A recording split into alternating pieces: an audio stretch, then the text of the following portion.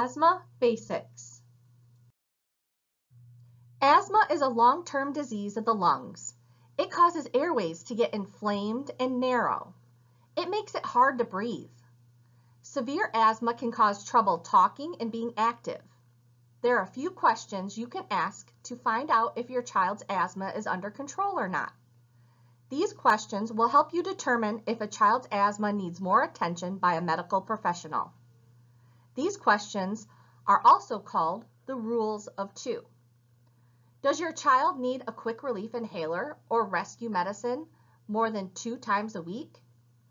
Does the child awaken at night with asthma symptoms more than two times a month? Does the child's rescue inhaler need to be refilled more than two times a year? Other questions that indicate there is a problem with the child's asthma is if they are missing school or childcare due to asthma symptoms. Is the child able to run and play like other children without asthma? Does the child go to urgent care or emergency room for asthma attacks? If you answered yes to any of these questions, the child should see their doctor for an asthma checkup. Looking at the pictures, there's a normal bronchiole on the left and an asthmatic bronchiole on the right. A bronchiole is a small tube inside the lungs that air moves through when you breathe. A child with active asthma has three characteristics inside their lungs. Swelling, mucus, hypersecretion is just a fancy word for mucus, and tightness, which is also called a muscle spasm.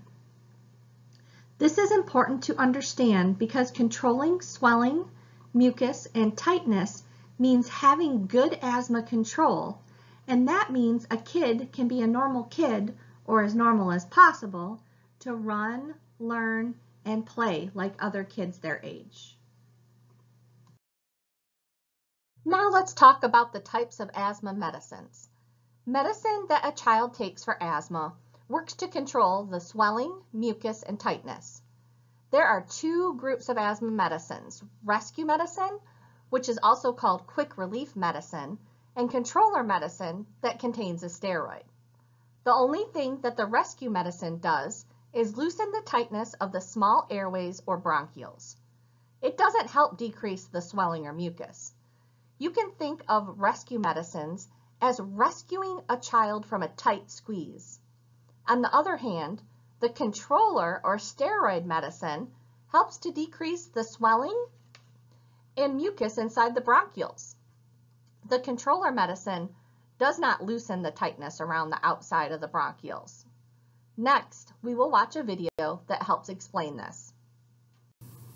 Hi, my name is Alex Thomas. I am an allergy doctor, but I'm also someone with asthma. And today, I want to talk about asthma and how it affects our lungs. I also want to talk about how medications work to make us feel better. So, let's take a look inside my lungs. One way to think about lungs is as a network of branches that start with one main branch that splits into two branches and continues on with more and more branches that eventually get so small they can only be seen under a microscope. Now, let's take a look at one branch of the smallest size. We're going to zoom in and see what this airway would look like up close. First off, there are muscle bands on the outside of the airway, and they are nice and relaxed when your asthma is under control and nothing active is going on in terms of the disease process. The other important part of the airway is the inside. In a normal airway, when your asthma is under control, the inside of the airway is wide open. When the airway is open like this, the air can move through the airway and in and out of your lungs very easily.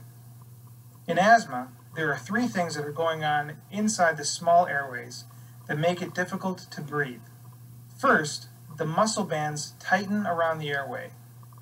These muscle bands are squeezing together in response to a trigger, such as an allergen, an irritant, exercise, or cold air. There are lots of different things that can make the muscle bands tighten up, and when that happens, the airway gets narrower because of the tightness. and it really squeezes things closed. The second thing that goes on with asthma is that you have inflammation within the airway. So rather than a nice open space for the air to move through, you have swelling within the airway that narrows the inside. The third thing is that mucus inside the airway starts to plug things up. And now, with this opening much smaller than normal, there is less room for the air to go in and out, and it is much more difficult for you to breathe. This is what an asthma attack looks like. To help treat an asthma attack, we first need a rescue inhaler. A rescue inhaler works in minutes and only lasts a few hours. And what the medication in this rescue inhaler does, and the only thing it does, is work on these muscle bands. And the way it works is by loosening the muscle bands. So let's see what that would look like. So now the muscle bands are loosening and the airway is once again more open. But there is still swelling because the inflammation doesn't go away with the rescue inhaler. So to really open up this airway, to reduce the inflammation, you need a controller inhaler. A controller works over days, but lasts much longer. And that's important. What the medication in a controller does is decrease inflammation in the airway. And it works in this area of the airway. Over days of using a controller on a daily basis, the inflammation will decrease, the swelling will go down, and the airway will become more open over time. And finally, with asthma back under control, the airway is able to have air come in and out much easier. So now you have an airway that is open and similar to a normal airway. Asthma has zones, three zones to be more specific. You can think of asthma zones like a traffic light. The green zone is when the asthma is under control. There are no asthma symptoms and the child can keep on running, playing, and learning. The yellow zone is when the asthma symptoms start appearing. You may hear an occasional cough that is progressively getting worse, or the child may stop playing due to being short of breath. The yellow zone is a time to slow down and follow the asthma action plan. A child in the yellow zone could benefit from stopping any activity they are doing and taking a few puffs of their rescue inhaler. Hopefully the child will return into the green zone. They may also go into the red zone if the symptoms become more severe. The red zone is a serious event and means a trip to the emergency room. Be prepared. Keep a special eye on children with asthma and have easy access to their rescue medication. Treating symptoms promptly can prevent an asthma emergency and allow the child to resume normal activities. Asthma signs and symptoms follow the asthma green, yellow, and red zones. In the green zone, which is the go zone, breathing is easy. There's not any coughing or wheezing, the child is sleeping well, and he or she can be active without breathing problems. The yellow zone or the slow down zone symptoms include coughing, mild wheezing, shortness of breath, chest tightness, and coughing at night. Other signs and symptoms in the yellow zone that you may not have heard of include having dark circles under the eyes, being pale, tired, or feeling weak, having an itchy chin, that one is actually very common, having an itchy, scratchy throat, or clearing the throat a lot. A nose that is runny, stuffy, or rubbed a lot is a sign, and sometimes the nose is rubbed, rubbed so much there is a line across the top of their nose. Additional signs and symptoms include sneezing, stomach aches or headaches, mood changes like being extra grouchy, extra quiet, or restless, or having an eczema or a rash flare-up. The red zone or the stop zone means call 911 if the child has any of these danger signs. The child's lips or fingernails are blue, the child does not respond to you.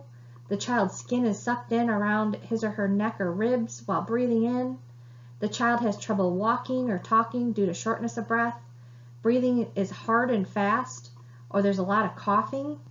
In addition to the red zone signs and symptoms is when the nose flares, the nostrils open wide, the child might be hunched over, and the rescue medicine is not helping at this point. Asthma is a burden being the most common chronic condition among children. One of every 12 children has asthma. Children with asthma are generally less active than other children without asthma. About half of children with asthma experience problems with getting a good night's sleep, tending to wake up frequently due to coughing or other asthma symptoms, and wake up earlier than expected. Asthma is expensive to the tune of about $82 billion, which includes medical costs and loss of work and school days. Here are some facts about asthma. Asthma is a chronic health condition, which means it is a lifelong disease. When asthma flares up, a child is considered to be having an asthma attack. During times with few or no symptoms, a child with asthma is considered in remission. During remissions, it may be believed that a child has outgrown asthma, but those sensitive airways may flare back up in adulthood. There is no cure for asthma, but it can be controlled. There is hope for kids with asthma and adults that care for them. Asthma can be managed where children live, learn, and play. Managing asthma at home, school, and at childcare can create healthier children.